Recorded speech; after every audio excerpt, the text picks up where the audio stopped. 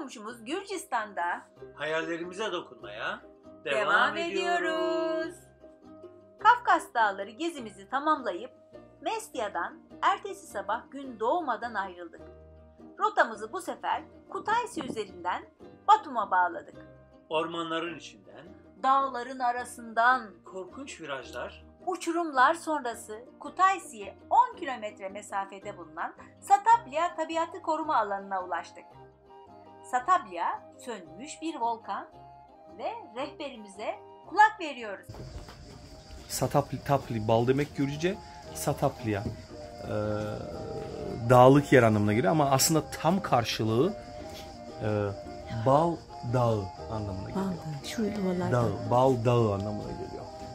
Ee, Arılar ve şu anda efendim Arılar var mı yapıyor? işte yok yani bunların suyu tükendi hepsinin. Varmış burada daha önce. Yani yabani arılar deniliyor Gürcüce bunlara.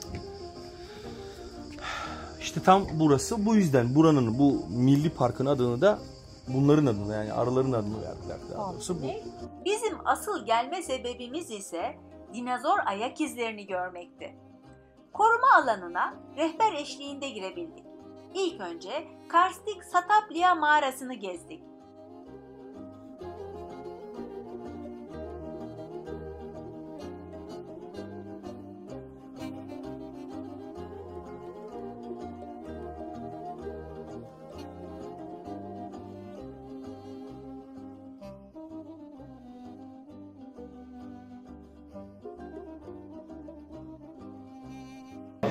Stablia mağarasındayız.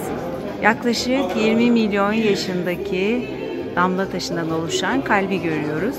Ufak bir delik var. Oradan para atıp direkt dilendiği zaman gerçekleştiğine inanılıyor.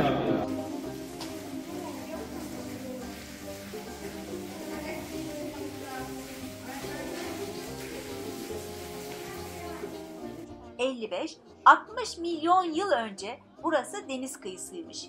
Deniz çekildikçe bu bölge oluşmuş. Tabanları olan iri ayak izleri otobur dinozorlara, Üç parmaklı ayak izleri et yiyenlere ait. bütün bu ayak izlerine hayret ve hayranlıkla seyrettik.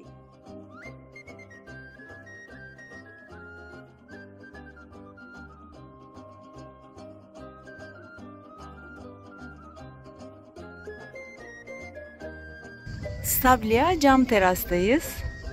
Karşımızda balların aktığı e, tepe ya da dağ etekleri diyelim. 1933'e kadar oradan bal akmış ama maalesef e, soyunu koruyamadıkları için arılar yok olmuş.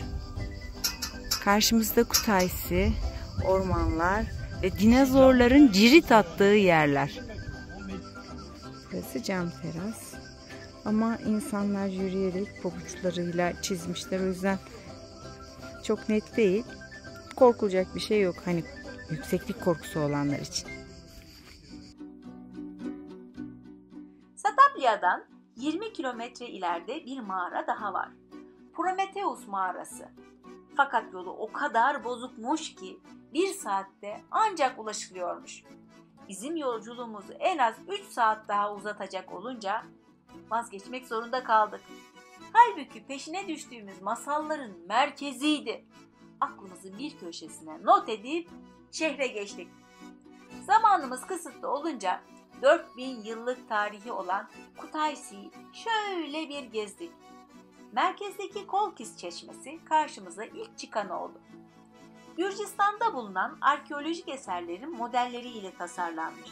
Tam ortada elinde içki kadehi bulunan adam heykeli yani Tamada milattan önce 7. yüzyılda yapılmış. Tamada ağzı güzel laf yapan ve içki sofrasını yöneten kişilere verilen bir ünvanmış. sofrada Tamada olmak bir ayrıcalık. Diğer eserler yine antik Gürcü figürlerinden esinlenerek altın ve değerli taşlardan oluşan kadın mücevherleri olarak tasarlanmış. Pırıl pırıl parlıyor. Meydanın dört tarafı tarihi yapılarla çevrili. En gösterişli olanı elbette tiyatro binası. Central Garden ve etrafta pek çok yer heykellerle süslü. Hem şehirde hem de çevrede gezilip görülecek pek çok yer var. Ama bizim programımız bitmişti. ancak Rion Nehri'nin kıyısında peynirli kinkali Gürcü mantısı. yiyecek kadar zamanımız vardı. Mantımızı yedikten sonra da Sarp sınır kapısına doğru yolumuza devam ettik. İlk girdiğimiz gibi sorunsuz bir şekilde sınırdan geçip ülkemize döndük. Böylece Gürcistan gezimizi de bitirdik. Bize bu güzel turu organize eden Ritur'a teşekkür, Teşekkür ederiz. ederiz. Gelecek videomuzda yeni bir yerde buluşmak üzere. Hayallerinize Hayallerinize dokunmanız dileğiyle.